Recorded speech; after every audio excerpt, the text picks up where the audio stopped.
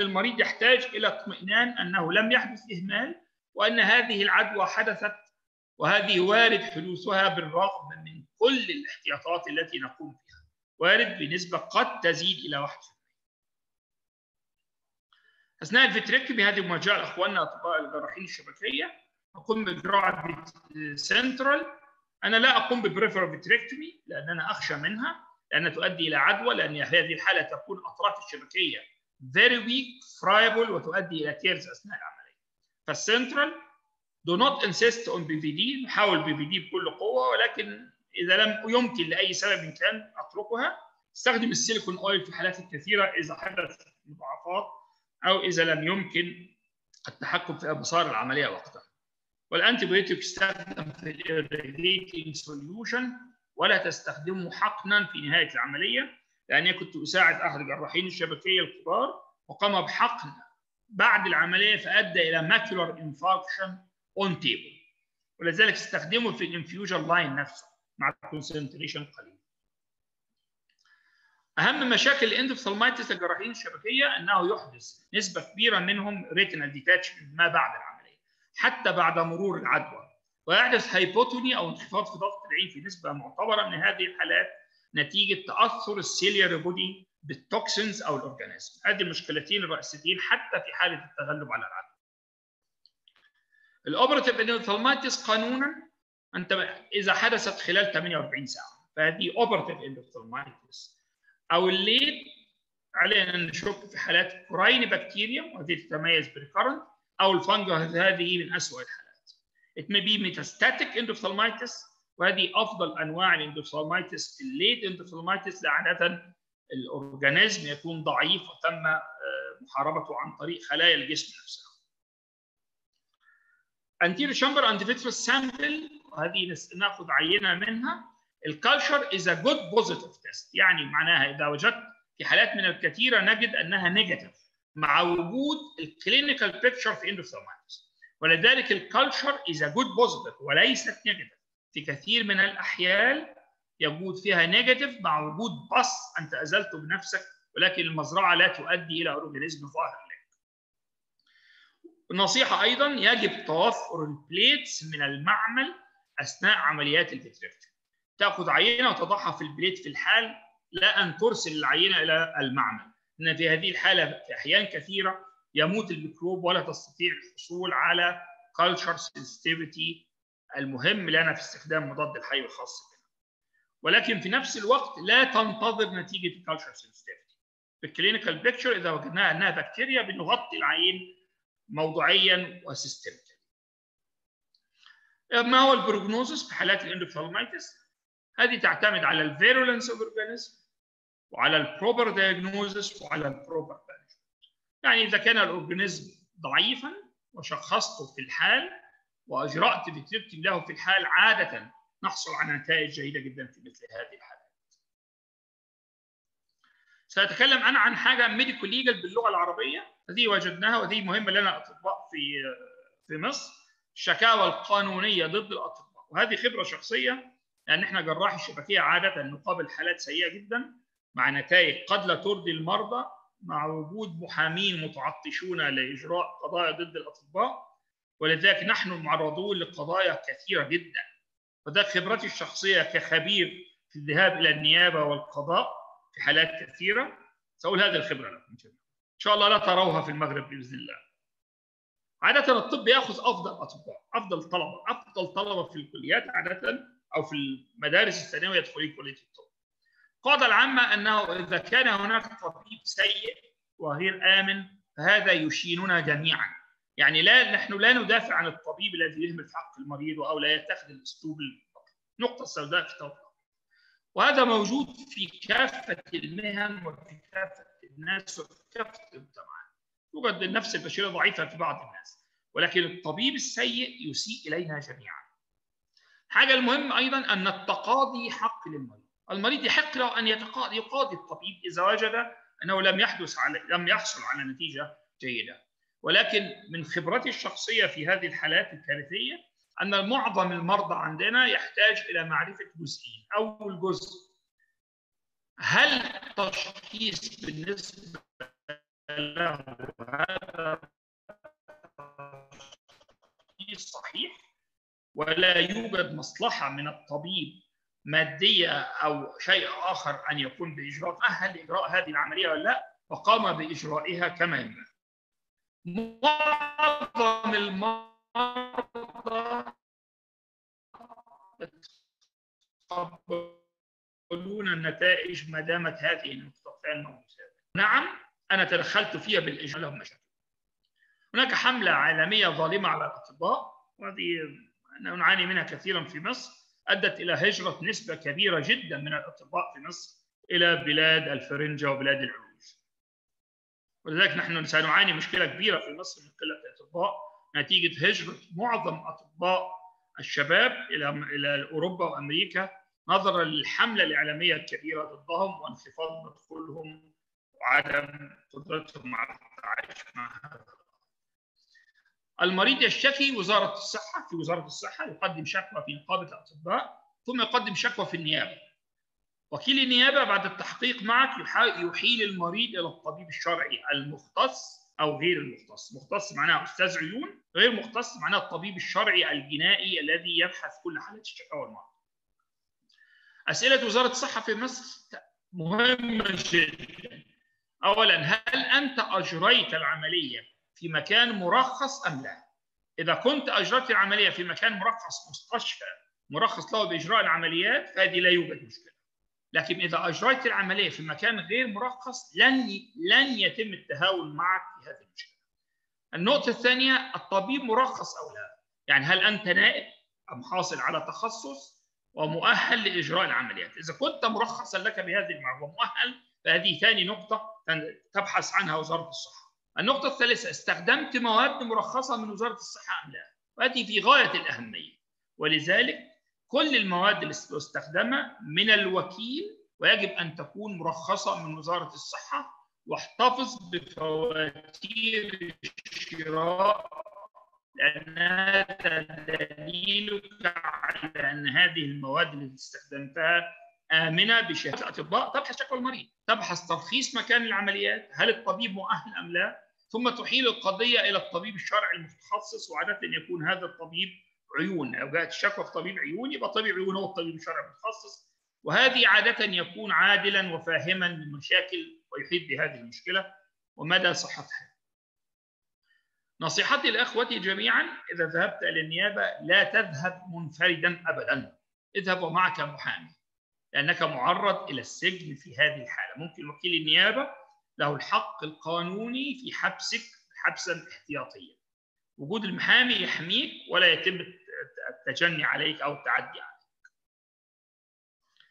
الطبيب الشرعي يكتب تقرير أن التشخيص سليم أم لا العملية ضرورية أم لا هل الطبيب مؤهل لإجراء العملية أم لا هل المضاعفات التي حدثت واردة أم لا؟ الاندوسالمايتس هي أحد المضاعفات الواردة. هل شخصت المريض في الوقت المناسب وتعاملت معها في الوقت المناسب أم لا؟ ولكن الطبيب غير مسؤول عن نتائج. هذا الطبيب الشرعي المختص يكتب عادة أن يكون تقريرا محترفا وعادلا لأنه يفهم هذه. ونحن عندنا قاعدة عامة كنت سألتها أحد أساتذتي عندما كنت طالبا أن أنا بشر الطبيب بشر وقابل أن يخطئ فقال لي خطأ الطبيب قدر المرض ولكن بشرط أن يكون هناك إهمال وبدون خطأ مهني جسيم وأن تتبع الأصول الطبية المتعارف عليها إهمال مثل ماذا؟ مثل مريض عنده إصابة وده أدخل المستشفى وترك في المستشفى يومين أو ثلاثة أيام بدون تدخل جراحي. هذا إهمال طبي جسيم ويحاسب عليه. مثل حالات الجلوكوما الحادة الأكيوت كونجستيف جلوكوما. إذا تم علاجها بالأتروبين هذا إهمال طبي جسيم ويحاكم محاكمة شديدة. أو اندوفتالمايتس حدثت بدون تشخيص وبدون تدخل جراحي. هذا إهمال طبي جسيم. القاضي عادة يأخذ برأي الطب الشرعي كرأي استشاري غير ملزم. القاضي يطمئن ما يطمئن إليه وجدانه هو يأخذ هذا القرار، وهذه مشكلة ضخمة جدا. إذا الطبيب الشرعي المختص قال أن هذه العدوى وارد حدوثها وأن الطبيب أجراها بالأصول الطبية المتعارف عليها وكان يجب إجراءها واتخذ الخطوات الطبية الصحيحة لعلاجها معنى هذا الطبيب غير مخطئ. القاضي من حقه فرض غرامة على الطبيب. وهذا شيء نعاني منه ونعتبره هذا ظلما حقيقة لكن دايما وجود شكوى من الطبيب الشرعي المختص أنه يجامل زملائه الأطباء. هذه هي النقطة الخطرة مشكلة التقاضي هو البطء ونحن كأطباء سمعتنا أهم شيء. أنا لا أريد أن أدخل في مشاكل كثيرة مع مريض لفترات طويلة لأن هذا يدمر سمعتي ويخفيني من التدخل الجراحي. غياب التخصص في الأمور الفنية لو كان الطبيب شرعي غير مختص. النقطة الثالثة أن الطب الشرعي غير ملزم للقاضي وهذه مشكلة كبيرة جدا. قد قد يكتب الطبيب الشرعي المختص أنه لا يوجد خطأ طبي على الطبيب ولكن القاضي يحكم على الطبيب بعقوبات شديدة غير جنائية ما عدا الحبس. ولذلك نصيحتي لإخواننا الأطباء الإقرار الإقرار الإقرار احتفظ بملف فيه تصوير وأبحاث يثبت أن هذه قد تحتاج إلى عملية. إذا وجدت أن هناك مشاكل مشاكل استخدم الطريقة الجميلة في الرأي الثاني. أنا أرى أن هذه العملية نتائجها غير جيدة والمريض غير مقتنع أرسله إلى طبيب زميل لي أمين وماهر بحيث المريض يطمئن أن هذه فعلا النتائج بتاعته. احتفظ بالملف كامل بحالة المريض ولا تستخدم مواد إلا المواد المرخصة من وزارة الصحة. ممنوع منعا باتا. اقترحنا هنا في مصر أن يكون هناك لجنة قانونية رأيها وجوبي للقضاء. فيها نفس التخصص بدون أي مجاملة للطبيب. تشمل أحد أطباء من نقابه الأطباء ومن وزارة الصحة ومن أساتذة الجامعة تحت الإشراف السلطة القضائية وبدون منازعة له وهذه اللجنة يجب أن تكون رأيها ملزم للقاضي وللأحكام. هذا هو الحل الحقيقي الذي نراه ولكن صعب. ولا ننسى البيت الشعر القديم أن المعلم إن المعلم والطبيب كلاهما لا ينفعان إذا هما لم يكرما.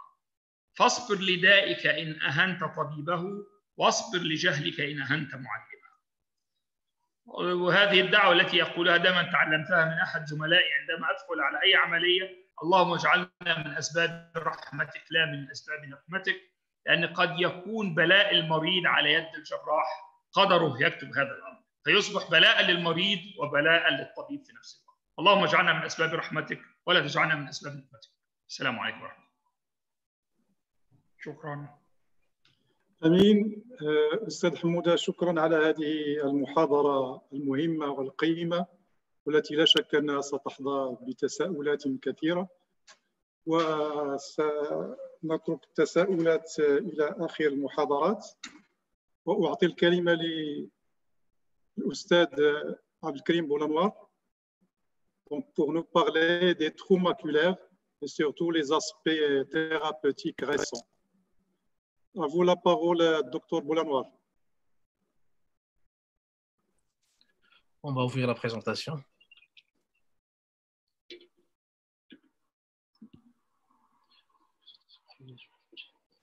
嗯。给嗯嗯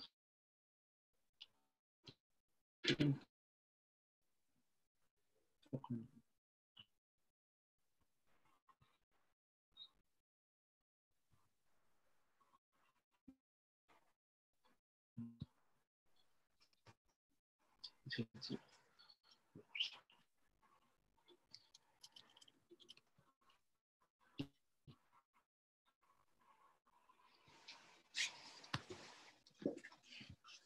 بسم الله الرحمن الرحيم أود أن أشكر إخواني السي مساعف الأستاذ البقالي الأستاذ زرق منير لجمعنا على هذه الطاولة المستديرة حول الشبكية.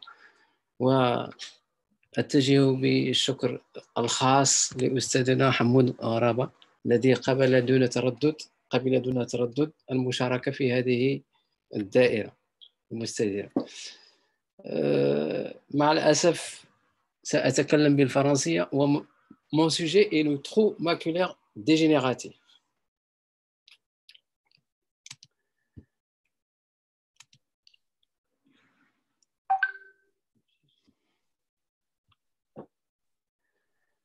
Le trou maculaire dégénératif se définit comme un défect intéressant toute l'épaisseur un mot de point de vue historique, la première description remonte à 1869 où M. Knapp a décrit pour la première fois un trauma oculaire, c'était un trauma oculaire post-traumatique. Le vrai trauma oculaire dégénératif a été décrit pour la première fois il y a 120 ans par Ogilvy. Avant 1991, cette pathologie était intraitable. Et c'est à cette date que Kelly Wendell a proposé la vitrectomie par la pars plana comme traitement de cette affection. L'âge de survenue du trauma oculaire est entre la sixième et la septième décade. La fréquence est de 8,7 yeux pour 100 000 habitants et par an. Le sexe, c'est une pathologie qui prédomine chez la femme et on a un sexe ratio de 1 sur 3 à 4.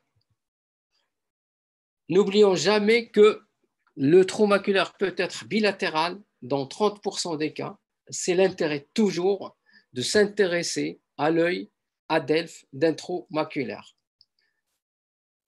En ce qui concerne la classification, plusieurs classifications ont été adoptées jusqu'à la classification de GAS qui date de 1988 et qui a mis en effet la cause de cette pathologie, à savoir l'existence de traction vitréomaculaire antéro-postérieure et tangentielle.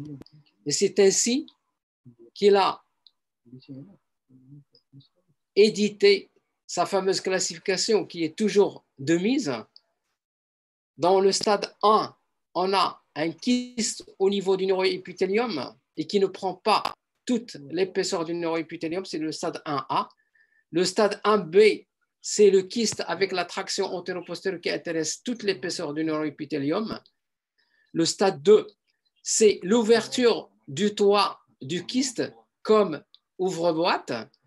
Et généralement, le trou maculaire est décentré. Le stade 3, c'est un trou maculaire avec un DPV et l'opercule du trou maculaire est toujours là. Le stade 4, c'est un DPV total avec un trou maculaire de pleine épaisseur.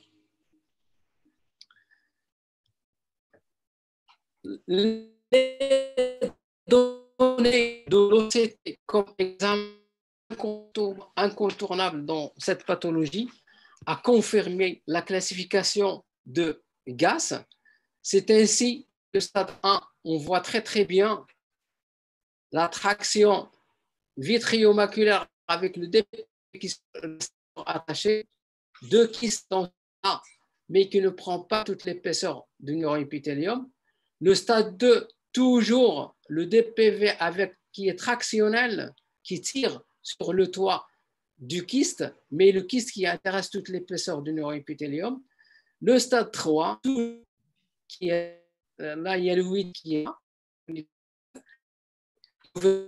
du toit du toit postérieur qui est décollé avec l'opercule le, du trou qui est là, avec un œdème d'héberge du trou, et le stade 4, comme dans la classification de gaz, où le DPV est total, on ne voit plus dialoïde postérieur et le trou maculaire de pleine épaisseur. À côté de cette classification OCT et de GAS, en 2013, l'international Vitrio Traction Maculaire Study a proposé une nouvelle euh, classification et qui, en fin de compte, met en évidence que le trou maculaire dégénératif n'est plus un trou idiopathique comme on l'appelait avant, mais c'est un trou qui est dû à un conflit entre la postérieure le vitré et surface maculaire. C'est ainsi qu'on a là une comparaison entre les deux classifications, l'ancienne classification et la nouvelle classification. Et sur la classification de Gas, il n'existait pas de trou de stade maculaire, stade 0. Donc, ce qui fait, dans le stade 0, on a deux stades, l'adhérence sur la macula, mais pas de retentissement sur la, sur la rétine. Ces, adhérences sont appelées focales si la, surface est inférieure à 1500 microns. Il est large lorsqu'il dépasse 1500 microns. Dans les tractions vitréomaculaires ou menaces de trou qui correspondent au stade 1, A et B de GAS, on a des tractions vitréomaculaires focales s'il est inférieur à 1500, élargies s'il est supérieur à 1500, isolées ou associées à une membrane épimaculaire. Le stade 2, le trou maculaire, et grâce à l'OCT, on, on peut mesurer sa taille. Il est classé comme étant petit lorsqu'il est inférieur ou égal à 250 microns, moyen entre 200 microns et 400 microns, large lorsqu'il dépasse 400 microns. Le stade 4, donc un trou maculaire sans traction vitréorétinienne avec les mêmes tailles petit lorsqu'il est inférieur ou égal à 250 microns, moyen entre 250 et 400 et large au-delà de 400 microns. Donc, notez la nouveauté, c'est cette case-là où avant, euh, avec la classification de gaz, on ne prend pas en considération ces adhérences et ces attaches vitréomaculaires. Donc la coupe d'OCT au stade d'adhérence vitréomaculaire où on a la hyaloïde postérieure qui reste toujours attachée à l'entonnoir foveolaire, mais sans traction, avec un profil du neuroépithélium qui est normal. Le stade de traction, qui est le stade suivant, de traction vitréomaculaire, et qui correspond au stade A et B, donc la hyaloïde qui est là, et qui tire sur le toit de la macula avec un entonnoir foveolaire qui est effacé, voire inversé, et une surface qui est toujours là et qui tire et qui est à l'origine de ces kystes intrarétiniens. Le diagnostic positif du trou maculaire. J'apporte rien de c'est un syndrome maculaire qui est associé une baisse de l'acuité visuelle, des métamorphopsies et un scotum central. En ce qui concerne les données de l'examen, donc les données de l'examen, pardon, en insistant sur l'examen de, la lampe passante après dilatation, on étudie bien les éléments du segment antérieur et on s'attarde plus sur l'examen du segment postérieur. L'examen du vitré à la recherche d'un anneau de Weiss qui indique un, décollement postérieur du vitré total, comme vous le voyez sur l'image à gauche qui est bien dessinée. Et on étudie, on étudie le trou maculaire associé ou non à une membrane épirétinienne, associé ou non à un œdème des berges du trou, et les signes associés en particulier des dépôts de, des cellules de l'épithélium pigmentaire au niveau du fond de la rétine. L'intérêt de l'OCT, c'est un examen, comme j'ai dit, incontournable dans le diagnostic du trou maculaire. Il permet le diagnostic positif et cet examen, il doit être demandé en préopératoire. Il a un intérêt péropératoire et postopératoire. Donc, le diagnostic positif avec le stade du trou maculaire et aussi nous permet de faire le diagnostic différentiel entre trou maculaire vrai et les autres pathologies qui simulent un trou maculaire, en particulier ce qu'on appelle l'aspect du trou, que vous voyez ici, une membrane épimaculaire, épéritinienne maculaire, avec une verticalisation des berges de l'entonnoir foveolaire, mais qui donne l'aspect de trou ou pseudo-trou, mais toujours un neuroépithélium avec un tissu qui est intact. De même, il permet de le diagnostic différentiel d'un trou maculaire de pleine épaisseur et un trou lamellaire, comme c'est dans le cas là, où on a un trou maculaire lamellaire, il y a un défect partiel du neuroépithélium, mais du tissu qui reste toujours là. Les facteurs pronostiques du trou maculaire, tout d'abord, l'acuité visuelle préopératoire et l'acuité visuelle postopératoire est parallèle ou proportionnelle à l'acuité visuelle préopératoire. Autrement dit, plus j'ai une acuité visuelle qui est élevée en préopératoire, plus mon acuité visuelle postopératoire sera meilleure. La durée du symptôme et la durée, plus j'ai à, faire un trou maculaire ancien, plus la récupération sera moindre. C'est inversement proportionnel à la durée du symptôme. Troisième élément, Bien sûr, c'est la taille du trou maculaire. Et plus la taille du trou maculaire est petite, plus le pronostic aussi bien anatomique que fonctionnel est, bien. Donc, deux éléments, l'acuité visuelle qui va de pair proportionnel à, euh, au pronostic post-opératoire, la durée du symptôme, c'est l'ancienneté du trou et sa taille, qui sont inversement proportionnels à récupération anatomique et fonctionnelle. Qu'en est-il du traitement du trou maculaire? Y a-t-il un traitement maculaire, euh, un traitement médical? Bah, Des essais ont été faits, surtout au stade de début de traction vitréomaculaire. C'est ainsi que l'injection d'ocryplasmine a été proposée à raison d'une seule injection de 125 microgrammes qui va permettre la vitréolyse. Certains auteurs ont proposé ce qu'on appelle la pneumovitréolyse en injectant de l'air ou du gaz pour provoquer un DPV et un positionnement du malade.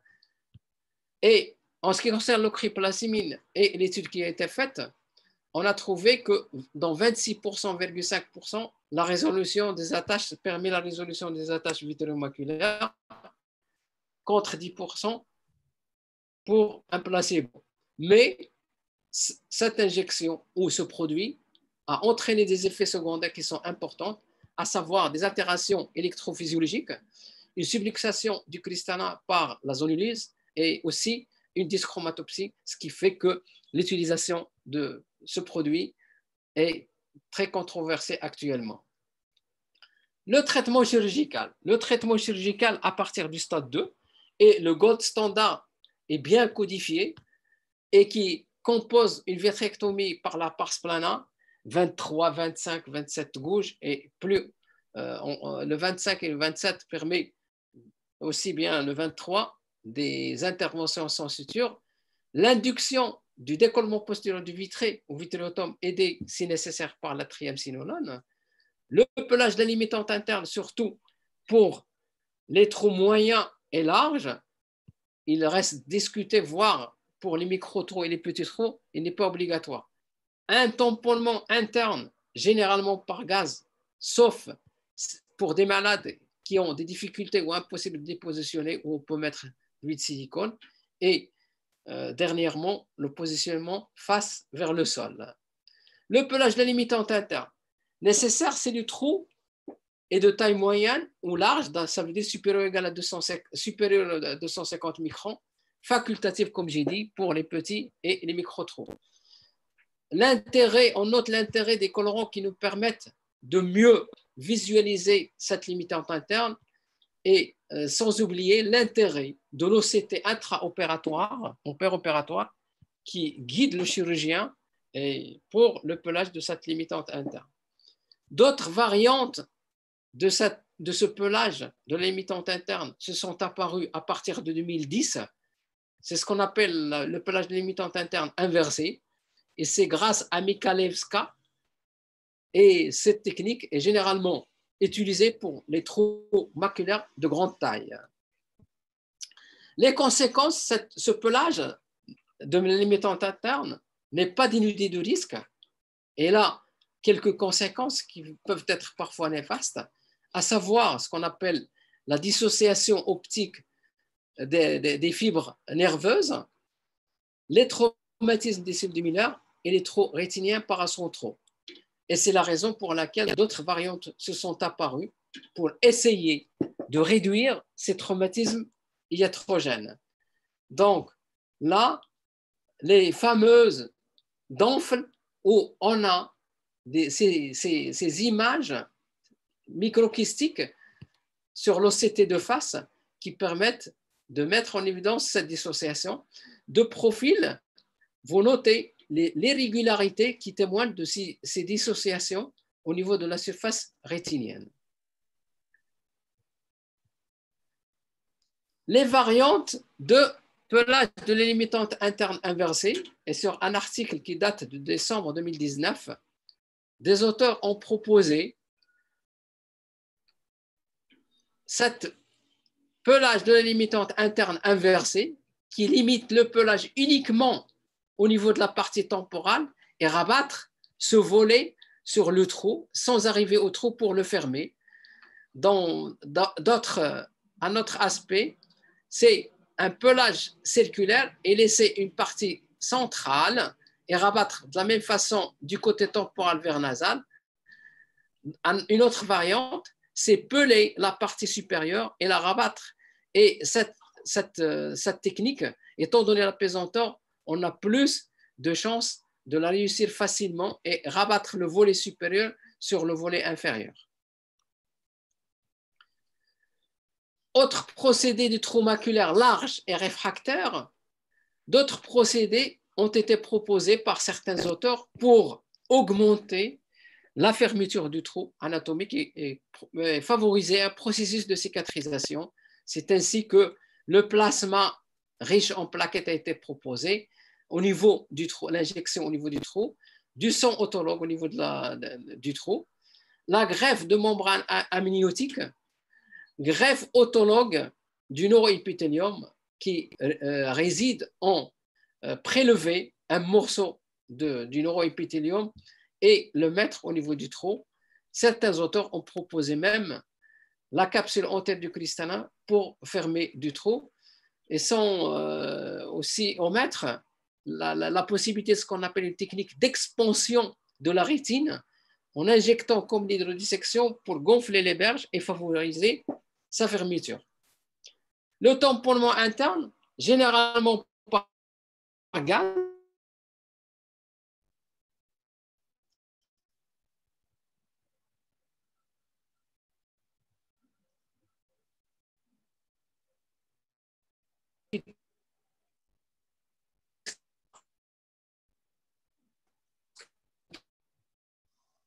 gaz,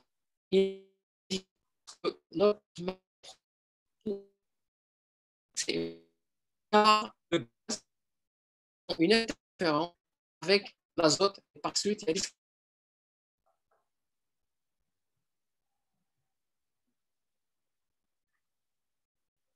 entre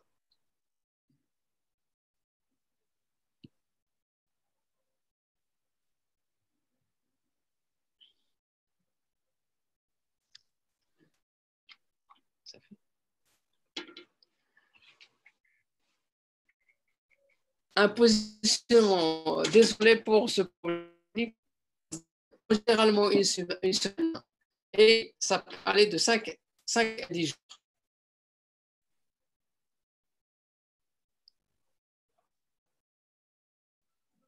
Un problème de blocage.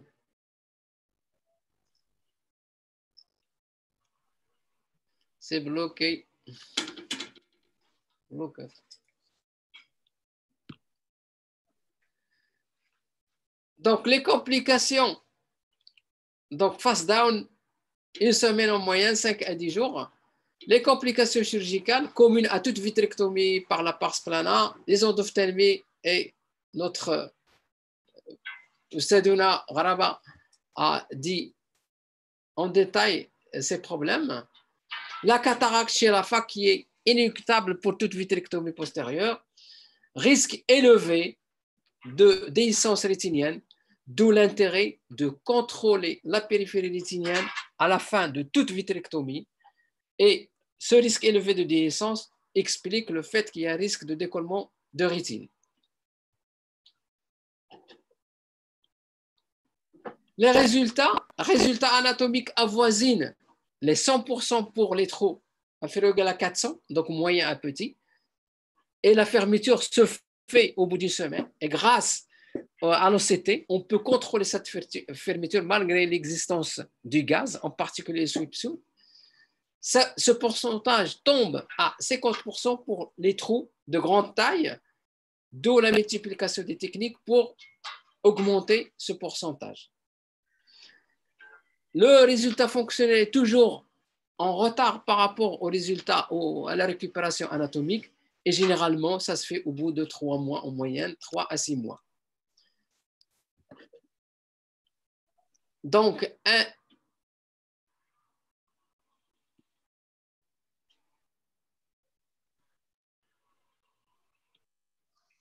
un, petit vidéo qui montre les différentes étapes de la chirurgie traumaticulaire, donc la vitrectomie centrale. l'injection triamcinolone pour aider le DPV, la coloration de la limitante interne par les différents colorants et on utilise le bleu de Koumassi et le pelage de la limitante interne. C'était un cas un peu la simple, c'était un cas d'un trou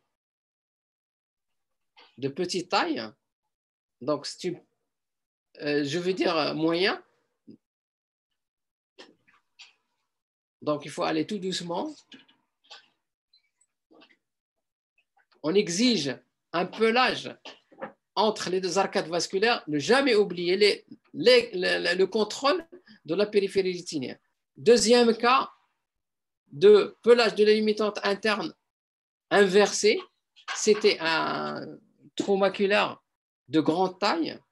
Ces hémorragies témoignent que vous avez pelé bien et sont classiques parce qu'elle est adhérente et ça entraîne des ruptures de euh, réseau vasculaire superficiel. Il faut être patient pour faire le pelage de cette limitante interne. Donc, libérer, il faut la couper euh, en périphérie en étant très très attentif et diminuer le vide du traitant pour ne pas l'arracher et la mettre au niveau du trou, du fond du trou.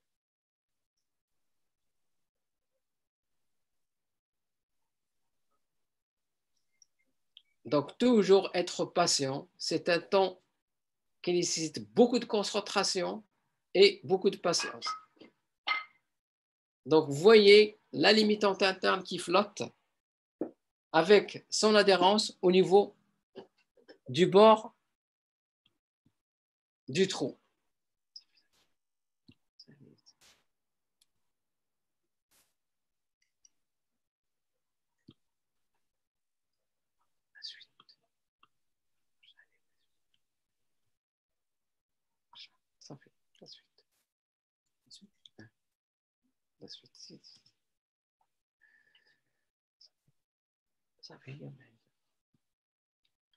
Donc, quelques exemples.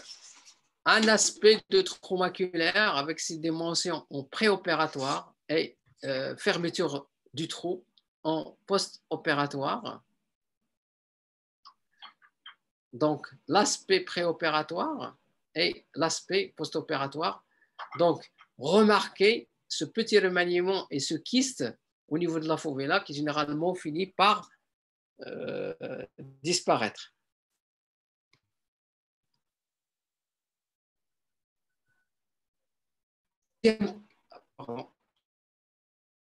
cas, un aspect de trauma Donc, remarquez les mensurations 713 avec cette œdème des et surtout au niveau du fond, les dépôts de lipofuscine et des cellules pigmentaires qui se déposent au niveau du fond du trou.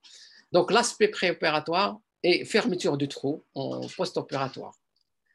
En conclusion, c'est une une pathologie rare. Sa prise en charge chirurgicale est bien codifiée. Le succès anatomique augmente en associant les différents de voix. On espère qu'un traitement un jour, qu'on aura un midi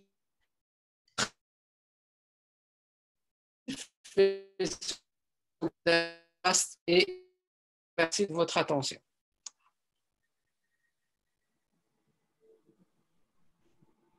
Merci, euh, professeur euh, Boulanoir, pour euh, cette communication intéressante sur les trous maculaires et surtout en ce qui concerne les trous géants et les modalités thérapeutiques. Je passe la parole au professeur Mounir Zak pour nous parler de la rétinopathie diabétique compliquée quand opérée. À vous la parole, Simonir. Merci, c'est Hamid. Je remercie les organisateurs pour m'avoir euh, convié, à cette euh, présentation.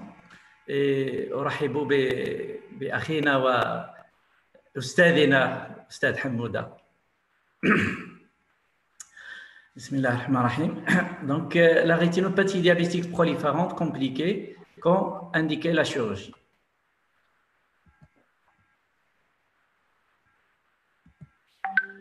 La rétinopathie diabétique et ses complications sont une cause principale de perte de vision irréversible chez les adultes actifs. La rétinopathie diabétique proliférante peut entraîner des complications graves telles que hémorragie de vitrée et décollement tractionnel, pouvant nécessiter une vitrectomie postérieure. On continue malheureusement à avoir des formes sévères qui peuvent être évitées. Les avancées technologiques de chirurgie vitréo-rétinienne euh, ont permis une chirurgie plus accessible pour euh, ces cas. Euh, il est important de bien reconnaître les cas urgents car le pronostic visuel dépend de la précocité de la chirurgie. Certains cas sévères, malheureusement, sont encore à haut risque de complications post-opératoires et source de malvoyance profonde. Dans l'évaluation préopératoire, l'interrogatoire doit permettre de préciser les modalités et le délai de la chirurgie, l'âge du patient, le type, l'équilibre et la durée d'évolution du diabète, la réalisation d'une PPR préalable, la possibilité ou non d'un suivi régulier et la, prise d'antiagrégants anticoagulants qui augmente le risque hémorragique. Le recours à l'imagerie la les rétinographies, et surtout l'OCT qui euh, a un apport très euh, important dans euh, la prise de décision opératoire. Et en cas de trouble du milieu, l'échographie trouve, tout son intérêt. Sauf urgence, il faut absolument avoir un équilibre diabétique avant la chirurgie et en attendant de, réaliser la chirurgie, d'équilibrer le, diabète, euh, il faut commencer la, la PPR ou la compléter si elle est déjà commencée. Les décollements de rétine tractionnelle atteignant ou menaçant la macula, c'est la principale indication de vitrectomie postérieure pour rétinopathie diabétique proliférante compliquée. On sait que les décollements de rétine tractionnelle évoluent lentement. La rétine est immobile, rigide, en forme de bol, sans déchirure et associée à une zone de prolifération fibrovasculaire. Le fait qu'on ait des membranes fibrovasculaires au fond d'œil n'est pas forcément une indication chirurgicale et c'est l'atteinte du pôle postérieur qui guide l'indication. Effectivement, l'intérêt là de l'OCT est, de nous permettre d'apprécier cette atteinte maculaire et euh, la présence ou non d'une membrane épimaculaire qui est souvent euh, présente et ça nous permet de faire des examens euh, comparatifs afin d'évaluer l'extension vers le pôle postérieur du décollement tractionnel.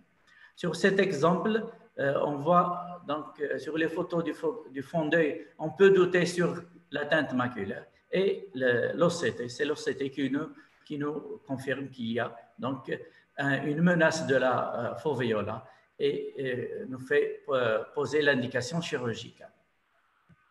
Donc, si la macula n'est pas touchée, la surveillance est, de mise et, dans ce cas-là, il faut réaliser ou compléter la PPR, c'est très important. La vitrectomie postérieure s'impose pour les décollements tractionnelle avec soulèvement maculaire évident lorsqu'il y a donc une menace de la foveola, euh, bien vu sur l'OCT, euh, en cas d'association à une membrane dense prémaculaire euh, relativement opaque qui baisse la, vision, et en cas de décollement de rétine tractionnelle associé à un œdème maculaire important euh, dans lequel on a besoin d'injecter des anti-VEGF qui sont contre-indiqués avec les voiles fibrovasculaires. Dans ce cas-là, on va, pour la chirurgie, enlever les membranes fibrovasculaires et euh, nous permettre de, traiter par les anti-VEGF. La chirurgie du décollement de rétine tractionnelle donc, commence par une vitrectomie centrale et, puis on va ouvrir la hyaloïde postérieure pour accéder aux membranes, au pôle postérieur, pour réaliser la dissection des membranes fibrovasculaires. Donc, cette dissection peut se faire au monomanuel ou en bimanuel, selon la préférence du chirurgien et la sévérité du cas. La bimanuelle permet donc de euh, travailler plus aisément. Donc, une fois la rétine en place, il faut compléter ou réaliser la PPR avant l'échange et le tamponnement interne. Le décollement de rétine mixte est une des indications de la chirurgie de décollement de rétine euh, chez le diabétique. Euh, il est dû à une contraction, à la contraction du tissu fibrovasculaire qui va nous causer une déhiscence rétinienne provoquée par la traction. Cette déchirure rétinienne est souvent postérieure, localisée au pied d'une zone d'adhérence vitréo-rétinienne et euh, parfois elle est cachée par les euh, membranes fibrovasculaires et c'est l'aspect clinique qui va nous orienter vers le diagnostic de décollement de rétine mixte où dans ce cas-là, la rétine, le décollement de rétine est convexe, il y a euh, assez de liquide sous-rétinien, contrairement au décollement tractionné, et la rétine est démaciée avec la présence, bien sûr, de voiles fibrovasculaires pour parler de décollement de rétine mixte. La chirurgie est urgente dans le décollement de rétine mixte, même si la macula est en place, car il y a un risque d'extension rapide du décollement de rétine vers le pôle postérieur. Donc la vitrectomie centrale au début, et puis la, dissection des membranes fibrovasculaires est volontiers bimanuelle. Pourquoi? Car les, membranes sont très adhérentes et la rétine trop mobile, c'est très difficile de faire la chirurgie euh, en monomanuel dans ce cas. Les proliférations fibrovasculaires rapidement évolutives et extensives malgré euh, la PPR, une bonne PPR, c'est le cas des sujets jeunes qui ont un diabète de type 1 euh, aggravé suite euh, à des facteurs aggravants comme la grossesse, l'équilibre glycémique rapide ou la puberté. Et la chirurgie est indiquée car il y a un, risque très important de complications graves à type de décollement de rétine tractionnelle et qui euh, parfois qui peuvent évoluer vers un, un glaucome myovasculaire. Là, le, rôle des anti-VEGF, particulièrement dans cette dans, ce cas-là, euh, est très important. En préopératoire, injecté donc pour faciliter la dissection et pour réduire le saignement préopératoire. Bien sûr, l'injection doit faire en moins de 5 jours avant l'intervention. Et en fin d'intervention, euh, l'injection des anti-VEGF permet de réduire le risque de prolifération secondaire. La PPR doit être agressive et extensive jusqu'à la périphérie rétinienne et elle doit être assez confiante dans, cette, euh, dans ce cas particulier. La surveillance post-opératoire doit être étroite chez, ces jeunes patients car il y a un risque de prolifération euh, fibrovasculaire antérieure rapide euh, qui peut évoluer vers le glaucome vasculaire cicitant. L'hémorragie de vitrée sur un œil n'ayant pas eu de, de PPR ou où la PPR est très incomplète.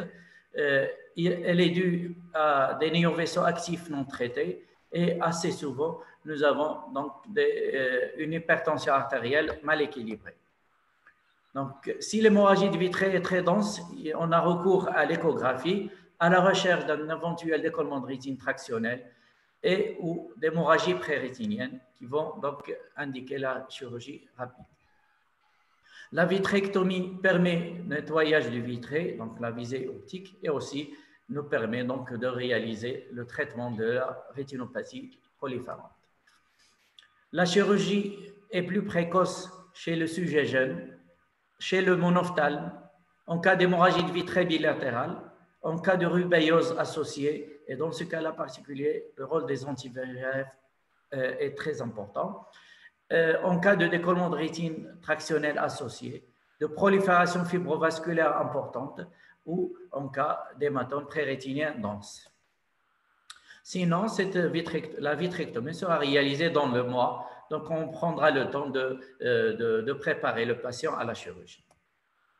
Les hématomes prérétiniens denses, euh, un hématome prérétinien ou rétrohyalidien ayant un aspect solide avec prolifération fibrovasculaire a un grand risque de rétraction maculaire sévère ou de décollement maculaire par traction.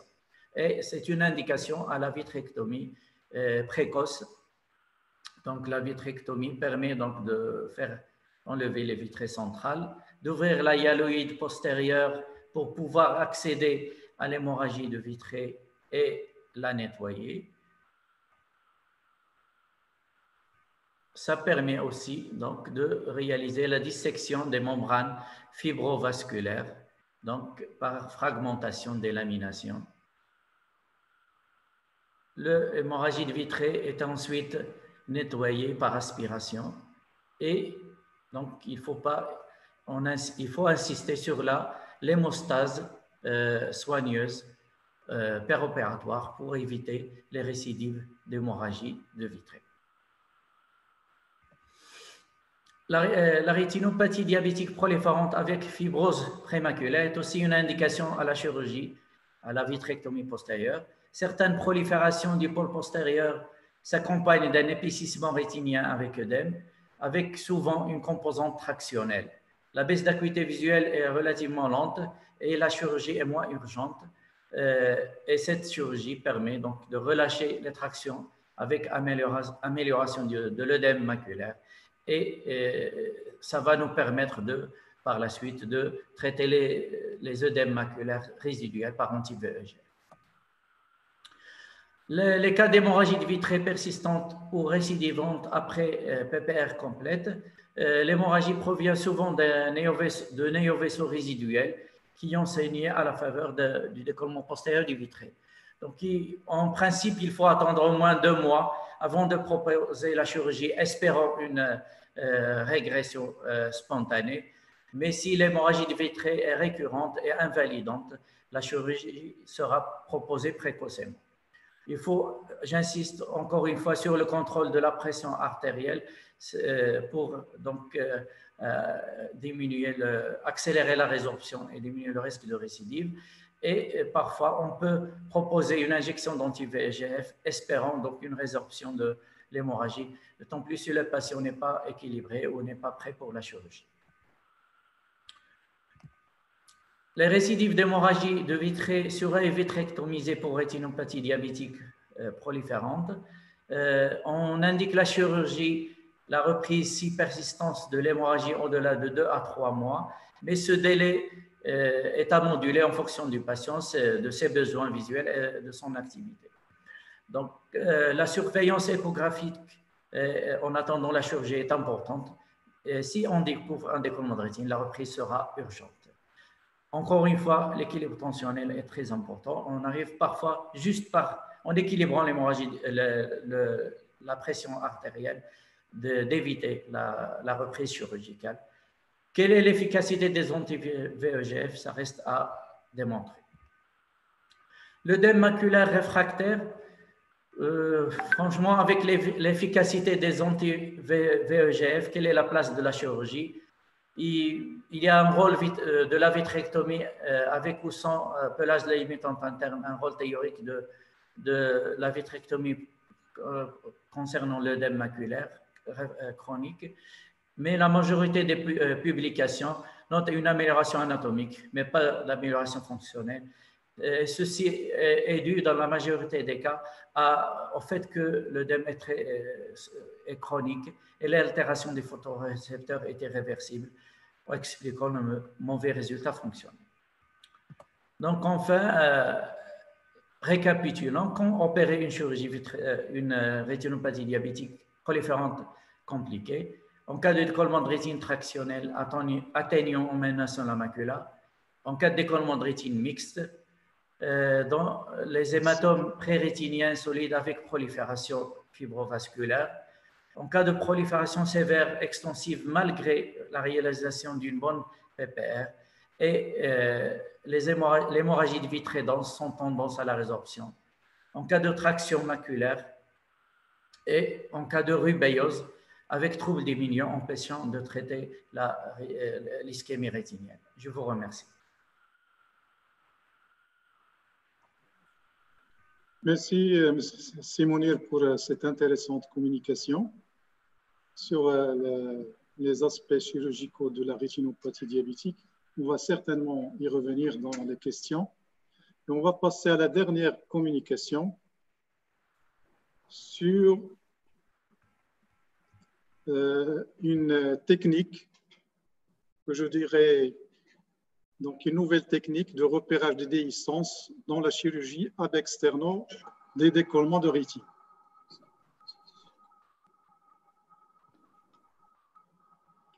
Un problème, juste un petit problème technique.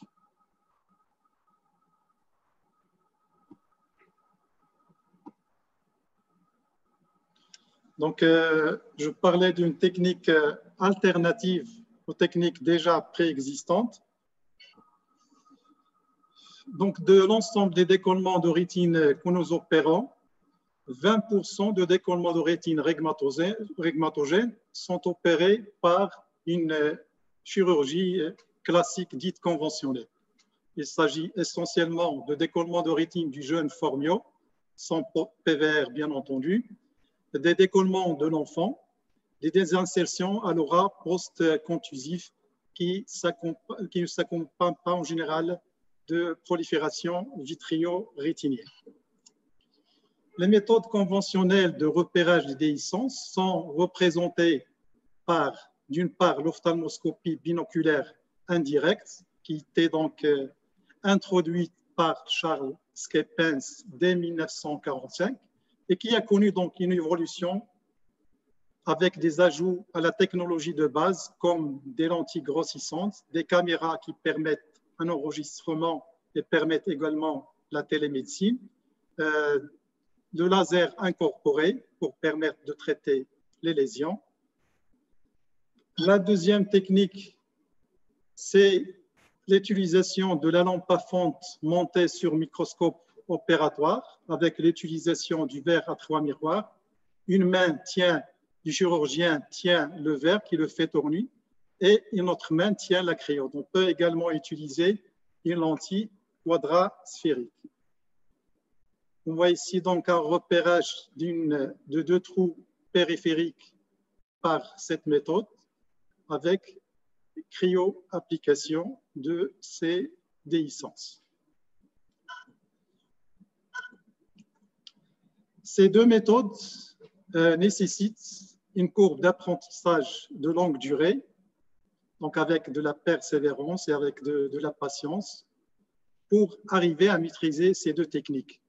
Ce qui démotive parfois les jeunes chirurgiens et qui préfèrent passer d'emblée à la vitrectomie. Or, on sait que la vitrectomie euh, n'est pas dénué de risques et présente certaines difficultés, surtout chez l'enfant et le jeune myope. Et on a souvent recours au tamponnement par silicone chez l'enfant, du fait qu'on ne peut pas le positionner lorsqu'on tamponne par gaz. On a souvent recours à une deuxième intervention pour faire l'ablation du silicone. Et il faut également citer les complications que peut engendrer le tamponnement interne par silicone, à savoir l'inflammation, l'hypertonie oculaire qui peut évoluer vers un glaucome secondaire difficile à, traiter, difficile à résoudre, la cataracte, l'émulsification, qui est donc une communication également grave. C'est pour l'ensemble de ces données qu'on vient de citer que nous proposons une technique alternative qui est basée sur le repérage direct des déhiscences au microscope opératoire comme on le, voit sur ces photos. Donc, ces techniques nécessitent certains prérequis, notamment une bonne dilatation, et ça, c'est commun à toutes les techniques, les techniques précitées, et il nécessite essentiellement un globe dépressible, pour ne pas dire hypotone. Donc, cette euh, condition, elle est obtenue en général par une ponction de chambre antérieure lorsque le décollement est plat, ou bien par une ponction du liquide sous-rétinien lorsque le décollement bulleux, en respectant bien entendu les, euh, les, bonnes manières de faire cette ponction, donc à savoir loin des vortiqueuses. Ici, on peut ponctionner entre les vortiqueuses dans une zone pauvrement vasculaire ou en général à côté du rebord musculaire et en évitant également les méridiens horizontaux pour ne pas blesser les artères ciliaires longues. Alors, je vais vous passer quelques cas pour illustrer ce qu'on vient de dire. Donc là, on va faire d'abord une ponction. Cette ponction Elle est de préférence la faire oblique pour constituer une sorte de valve qui, lorsqu'on appuie sur le globe, on va voir une uscide du liquide euh. Et lorsqu'on enlève la pression, le point de ponction se ferme. Il ne faut pas donc euh, vider tout le liquide soritinien. Le but, c'est d'avoir une hypotonie capable d'entraîner une dépression et de visualiser parfaitement ici la déhiscence. Et si on a un, signe qui permet de prédire la guérison du décollement de lorsqu'il lui oppose une indentation bien faite, c'est le bon contact entre la rétine neurosensorielle et l'épithélium pigmentaire. Ici, on voit la cryode, la cryo-application de la déhiscence en fer à cheval supérieur sur un décollement localisé et avec possibilité de voir l'extrême périphérie jusqu'à l'aura serrata. Voilà.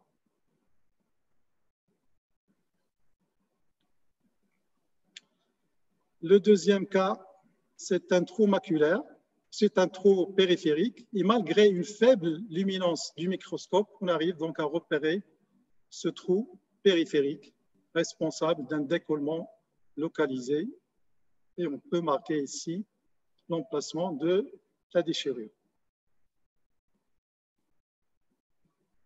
Le deuxième cas, c'est une désinsertion à l'aura serrata chez un enfant de 10 ans que j'ai opéré en 2008. Actuellement, il est, est adulte et il est en quatrième année de médecine.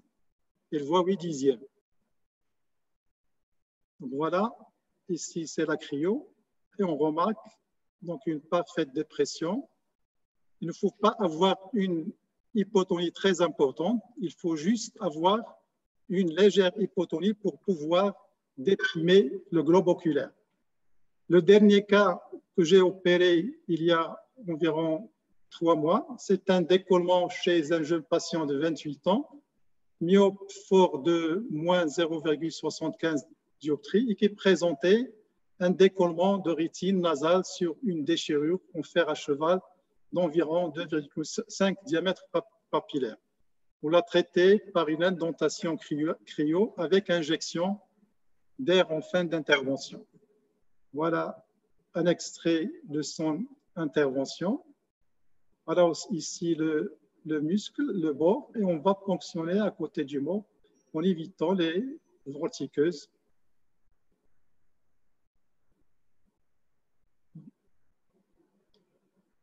Et donc voilà, on va, en appuyant, on va, on va drainer le liquide sous-rétinien.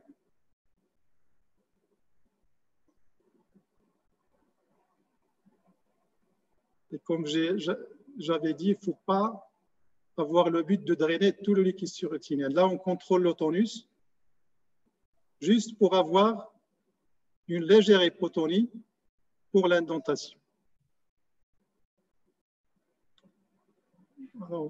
ici, on va repérer directement au microscope. Là, on, va, on a abaissé le microscope, c'est pour cela qu'on voit on n'a pas une mise au point sur la cornée, mais on, aura une, une, bonne mise au point sur la rétine périphérique.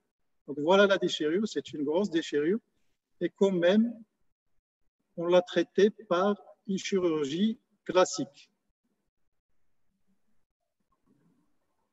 Voilà la cryo. En post-opératoire à J8, donc on a ici l'indentation on a encore la cryo et on a la déchirure qui est bien portée par l'indentation. Donc, la chirurgie externe garde toute sa place dans la prise en charge des décollements de rétine repérage, la technique de repérage directement au microscope opératoire est une technique simple, facile à apprendre et qui peut constituer une bonne alternative aux anciennes techniques. Je vous remercie.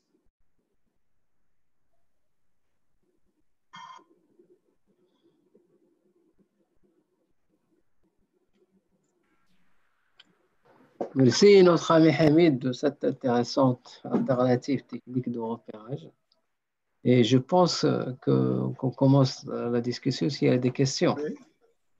J'ai noté quelques questions. La première question, c'est pour professeur Hamouda. سائل يسأل ما قيمة الموافقة قانونيا؟ ما قيمة موافقة المريض قانونيا؟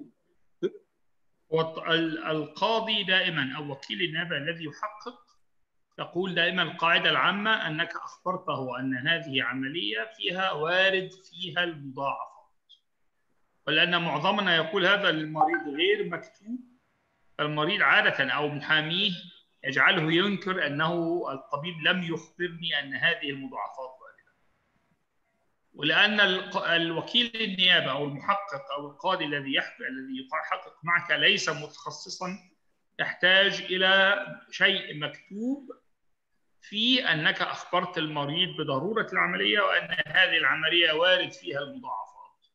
فهذا الشيء المكتوب للمريض في المستقبل وفي نفس الوقت للقاضي إذا وصلت الأمور للمحكمة. شكرا أستاذ على هذه الإنارة. متى يكون أحسن وقت للتدخل السريع في حالة تعفن العين؟ بمجرد التشخيص. بمجرد يعني أنا أتحدث عن عن الفيتريكتومي يعني استئصال السائل الزجاج. أنا أنا أتصور أنه لا يوجد مجال للحقن الأنتيبيوتيك في الفيترس إلا في غياب جراح شخصية موجود يعني أنا لو حالة فيتريكت لو حالة فيكو عندي حدث لها اندوثالمايتس ثاني يوم وجدت اندوثالمايتس أتدخل فيها في نفس اليوم. ولكن هذا لا قد لا يكون متاحا في غياب جراح فيترو ريتينال سيرجري ففي هذه الحالة مسموح أن يحقن الطبيب الغير متخصص انتبيوتيك في الحال ثم يحول المريض في الحال لجراح شخصي لأنه التدخل الجراحي بالنسبة فيه هو القاعدة. بعض الحالات تمر بالحقن فعلا نعم بعض الحالات لكن هذه استثنائية. ولذلك توقيت التدخل الجراحي في الحال بدون انتظار لانخفاض الرؤية كما كتبت البحث الكارثي عام 1989 بمجرد التشخيص.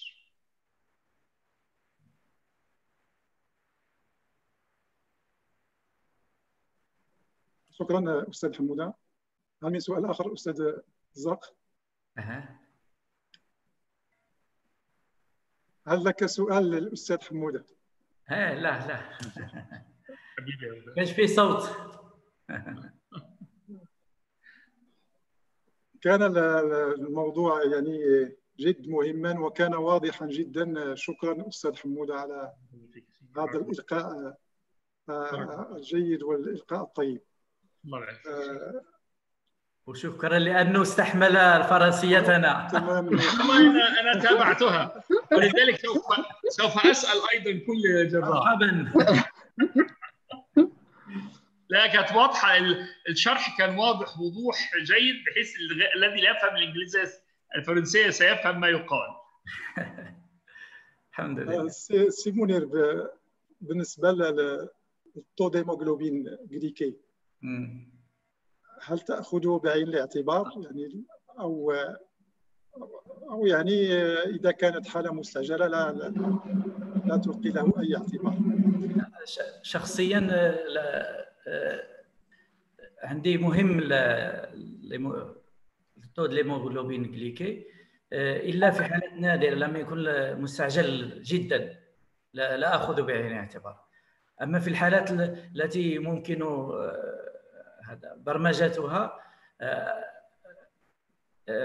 أطلب من المريض أن ليكيليبر جليسيميك أن أن السكري يقاد السكري ديالو. السكر التراكمي أوكي. فنوني العبارات. عندي سؤال للدكتور أبو الأنوار. مرحبا من ربما من طبيب مبتدئ يسال quel est l'intérêt de l'examen de la périphérie rétinienne avant la chirurgie du trou maculaire l'examen euh, de la périphérie rétinienne avant le trou maculaire est très important. S'il y a une lésion à traiter, il faut la traiter avant, d'autant plus que après la chirurgie, il y a un risque important, c'est l'intérêt toujours de vérifier la périphérie rétinienne en fin d'intervention. Donc, si je passe à côté d'une déhiscence préopératoire déjà existante, préexistante, ça veut dire que mon risque de décollement de rétine est euh, plus important. Auquel cas, soit je le traite en pré, euh, soit en opératoire, je repère ma déhiscence pour lui faire soit du laser, soit un point de crayon. Merci beaucoup, سي عبد الكريم. سأرجع إلى الأستاذ حمودة. ما هي نتائج الفيتريكتومي عند وجود تقيح؟ يعني باس حسب حسب عوامل كثيرة. أهم عامل هو قوة الأورجانيزم يعني مثلا أسوأهم هو السودوموناس. يعني وقال الله سودوموناس سودوموناس سودوموناس ايروجينوزا هذا أسوأهم يعني يعني وقال الله شرها. وأحسنهم ستاف أوريوس ستافيلوكوكوريس ستاف إبيدرميديس. ستاف إبيدرميديس. هذه عامل. العامل الثاني سرعة التدخل الجراحي يعني الحالة التي يتدخل فيها في الحال نتائجها أفضل كثير من الحالات التي تترك. لأن تركها يعني عاملين اثنين. أو عامل توكسينز اوف اورجانيزم ستسمم العصب البصري والماكيولا وستذيب أطراف الشبكية. يعني يحصل نيكروزس اوف ذا ريتينال بريفري وممكن يحصل نيكروزس اند شيثينج اوف ذا فيزلز إحنا نراها جميعا في هذا الأمر. ولذلك قوة الاورجانيزم وسرعة التدخل الجراحي هم الأساس. شكرا أستاذ حمودة. لم يتبقى هناك أي سؤال وسأترك لك الخاتمة. استاذنا الفاضل تفضل معذرة كاين هناك اسئله انا هنا عندي م... تفضل تفضل تفضل Il y a une question de, du professeur Tachfouti. Donc, euh, comment gérer le, vous le saignement péropératoire Donc, vous augmentez la PO, vous réalisez l'endodiathermie, sachant qu'il y a risque de déhiscence iatrogène. Donc, euh, premièrement, la, donc, euh, pour les petits saignements, le fait d'augmenter la pression, d'élever la, pression intraoculaire, permet de tarir euh, ce, ces saignements. Mais euh, souvent, on a des saignements qui, qui ne partent pas uniquement, ne s'arrêtent pas uniquement par l'élévation de la pression. Donc, dans ce cas-là, on utilise l'endodiathermie. L'endodiathermie, il faut l'utiliser donc précocement, avec précaution, pardon, euh, il ne faut pas augmenter la, la, la, puissance et il faut que la puissance soit linéaire. Euh, donc, euh, on règle la, la, puissance en appuyant plus ou moins sur la pédale. Il y a aussi une autre méthode, c'est d'utiliser le laser. On peut très bien utiliser le laser lorsque le saignement n'est pas très important. Le, le, point de fuite. Donc, on peut utiliser du laser mais ça nécessite une rétine en, place. Donc, on peut cautériser aussi par le laser. La deuxième question, que faire devant un soulèvement persistant en fin d'intervention en l'absence de licence Donc, euh, personnellement, si le, soulèvement est postérieur, donc euh, je ne fais pas de rétinotomie, je le laisse, en général, il se résorbe euh, en post-opératoire rapidement. Mais si le soulèvement s'étend, et m'empêche de faire le, de compléter la PPR euh, péropératoire, euh, à ce moment-là, euh, je fais une rétinotomie de drainage. C'est Hamid, il y a une question de quelqu'un oui. anonyme. Oui. Et qui parle que qu'est-ce qu'on pense du massage du, du bord du trou maculaire en cas de trop de grande taille. Euh, j'ai parlé d'une façon brève, les alternatives ou les adjuvants, on peut même faire ce qu'on appelle une hydrodissection, on gonfle la périphérie par une injection intrarétinienne pour rapprocher les berges, mais ce massage, il est euh, dangereux, il faut qu'il soit doux, et deuxièmement, lorsqu'on fait le massage, on risque d'entraîner des dégâts au niveau des cellules péri-trous et au niveau de l'épithélium pigmentaire qui vont compromettre le pronostic fonctionnel euh, pathologique. هناك ايضا طلب من الاستاذ حموده من البروفيسور هشام طاهري يطلب هذو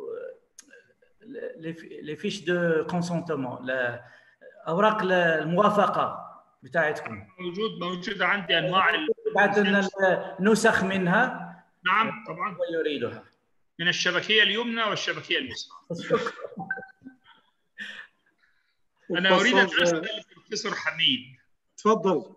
طبعا الشيء الجميل أنك أكدت عن هذا الباكل أهمية الباكل وهذا جميل جدا لأن الناس تنسى ان الباكل جميل. فعلا. لكن أنا لاحظت إن كانت فهمي أنك تجري هايبوتوني عن طريق الدرينج سبريتينال فلويد اولا. كل الحالات هذا. هل أيوة. هذا يص... هل هذه الطريقة تصلح ان في شالو ريتينال ديتاتشمنت شالو ضحل انفصال شبكي ضحل ليس عالي. لا يوجد وسيلة للدرينج هل هذه الطريقة تصلح؟ لا وأنا قلت آه، نعمل باراسينتيزيس باراسيت تمام. هل هذه تكفي للهايبوتوني؟ لا أيوه تكفي. تكفي جدا. هو الحقيقة أنا أنا أستخدم لانني أعاني من مشاكل في ظهري فأنا أستخدم طريقة اللي هو الاندولايت مع كل حالات البقر لأنني لا أستطيع الانحناء كثيرا وارى هذه حل جيد جدا أيضا لأن الطريقة بتاعتك جميلة من غير تدخل جراحي ذاتي العيب دي ميزة كبيرة. ولكن ستكون هناك مشكلة دائما في الباكل أتخيل هيبقى الباكلينج صعب على الهايبوتونس اي يعني مع انخفاض ضغط العين كيف ولا كلها سيركولاج. تقوم بسيركولاج لها جميعا. مش كل مش كلها سيركولاج. أغلبية مش سيركولاج. آه. أيوه أغلبية مش مش مش سيركولاج.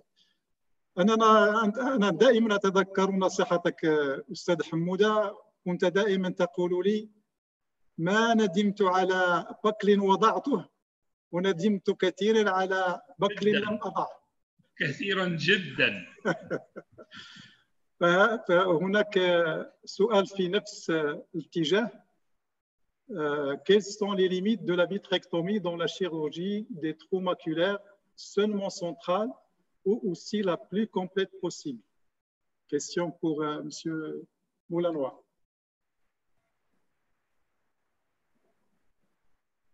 Dans le- la vitrectomie euh, postérieure par la passe plana dans, la pathologie des maculaires, normalement, on n'est pas obligé de faire une vitrectomie complète.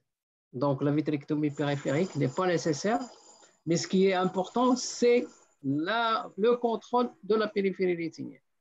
Donc, on, on peut se contenter de faire le DPV pour avoir l'accès au pelage de la limitante interne sans avoir besoin d'une vitrectomie périphérique complète. Une euh, question. Quelles sont les limites, de la chirurgie par voie externe? Donc, euh, chaque fois qu'on peut réaliser une chirurgie par voie externe, on l'a fait. En dehors, bien entendu, des décollements de rétine avec PVR, des décollements de rétine avec hémorragie intravitrienne, des décollements de rétine avec des déchirures postérieures, des décollements de rétine avec plusieurs déhiscences à différents niveaux. Donc, en dehors de ces cas, chaque fois qu'on peut faire une chirurgie externe, on l'a fait. Et essentiellement chez le jeune, parce que la vitrectomie est difficile et le, le- le décollement de la- de la L8 postérieure est également euh, euh, difficile et peut s'accompagner de complications.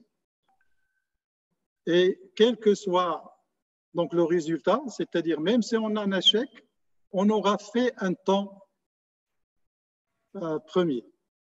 Donc la chirurgie externe, chaque fois qu'on peut la faire, et, on peut résoudre pas mal de problèmes avec une simple chirurgie externe. Si منير هل هناك من سؤال آخر؟ آه هناك سؤال آه، على ال- ديل- آه، هل ممكن وضع فورتوم ولا الفونكو؟ فونكومايسين في ال في ال في البي إس إس. وما هي الديلوشن بتاعها؟ لا أحفظها. هذه هذه نسبة مطبوعة مكتوبة ومطبوعة في العمليات حتى لا يكون مجال لللبس. والذي يعد الكونسنتراسيون هو طبيب التخدير اعطوه أنا أقول له ضع كذا ب- بالترتيب الاثنين معا الاثنين معا آه. أظن نفس ال نفس الكونسنتريشن بتاع ال- الدولي. حتى كونسنتريشن الحقن في الحقن ال- ال- ال- لا لا أقل كثير آه، أقل. أقل. لأنك أنت تترك تترك كمية في طويل 4 ال- ملي آه كبير.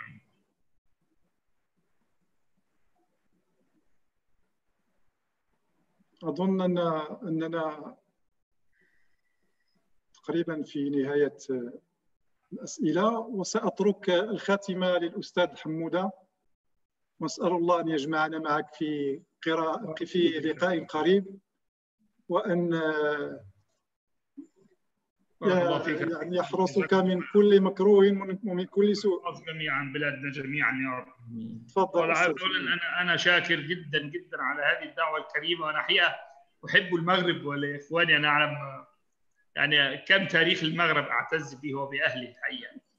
والتواصل الاجتماعي الحديث فيه ميزة فعلا إنه قرب المسافات فعلا. يعني العالم فعلا سيكون دولة واحدة شئنا أم أبينا. فإن شاء الله تكون هذه الفرصة ل- لتقطيع الجوازات وجوازات السفر والباسبورات ولا يبقى إلا ورقها فقط ولا يبقى الجوازات في قلوبنا ابدا إن شاء الله ولا الحدود. باذن الله إن شاء الله. حفظ الله المغرب واهلها و- ومصر إن شاء الله. الله يكرمك. وإلى لقاء قريب إن شاء الله. السلام عليكم ان شاء الله. شكرا جزيلا.